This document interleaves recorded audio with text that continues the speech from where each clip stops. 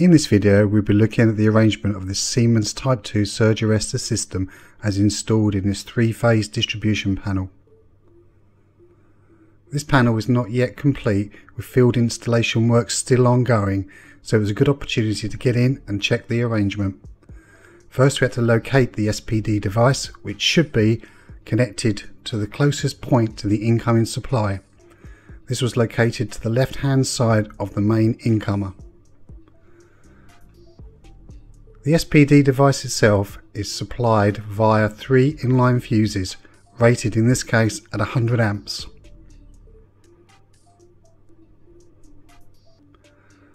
The unit itself comprises three separate modules, one for each of the three phases coming in. Each of the individual modules can be removed and replaced as required. We decided to do an inspection of each of the modules and compare it against the Siemens datasheet. The information on the side turned out to be more extensive than what was on the datasheet. It detailed the peak current the unit could take and the peak voltage the unit could withstand as well. Each module was compared against the others to make sure it was in good condition and of the same type and rating. The modules were then replaced so we could begin some initial tests. The cable connections for the PE, L1, L2 and L3 phases was checked. On the front of the module you'll see there's two voltages indicated, the first being the system voltage and the second one being the voltage at which the unit should pass current to protect itself from overvoltages. Even though the paddle is actually dead, we decided to conduct this test as if it could potentially be live. The control system was disconnected. This indicates whether one of the units has failed or not. We installed the Fluke proving unit on the back plate of the panel and tested the electrical meter. Once we proved that the meter was operational, we then checked each phase in turn down to the earth connection.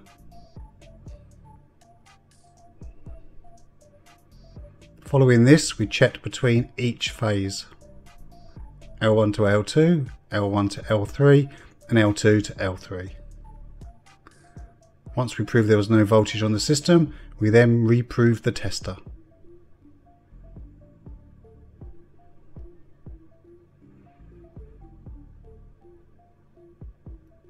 Firstly, we want to check that the PE connection down to the panel main earth bar is in good condition.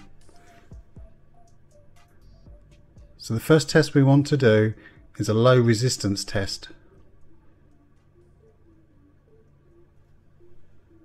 The meter itself shows that the unit is calibrated and the test leads have been compensated for.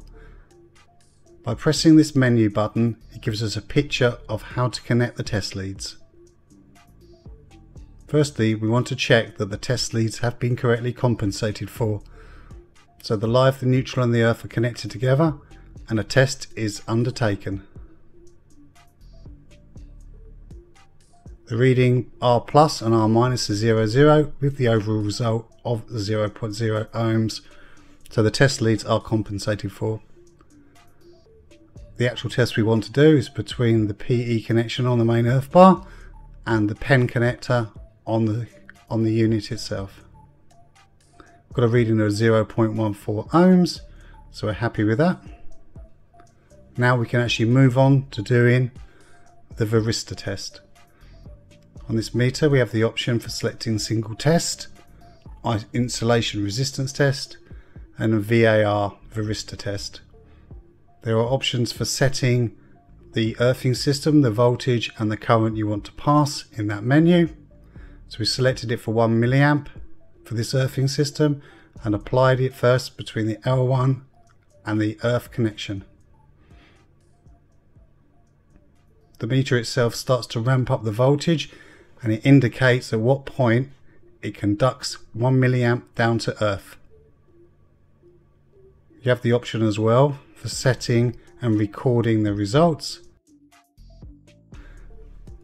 The next test we did was the L2 phase. Again, the meter ramps up the voltage slowly until 1 milliamp is passed, in this case at the equivalent of 319 volts AC.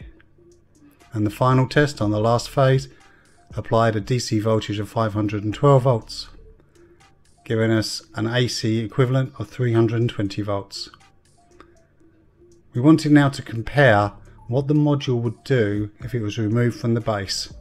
So we conducted the varistor tests again on each individual module.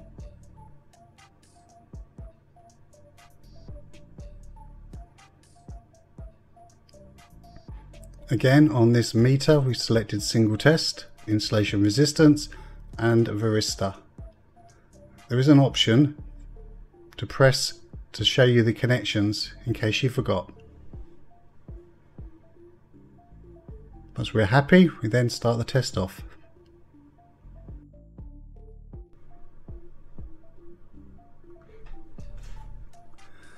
We obviously don't want the varistor to pass any current near its normal operating voltage of 240 volts, but we do want it to start passing the transient spikes down as they reach a magnitude of 350 volts.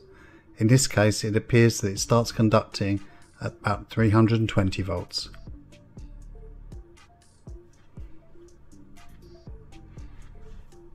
Each module was checked in turn and compared against the original results as it was installed.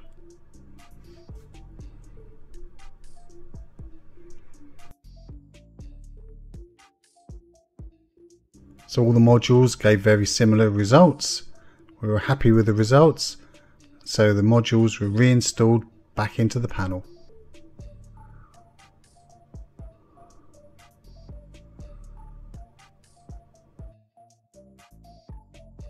The signal indication cable was reconnected and the inline fuses closed up again.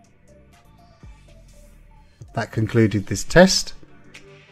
If you're interested in finding out more about the industrial electrical environment, please subscribe to the channel and stay tuned for new videos.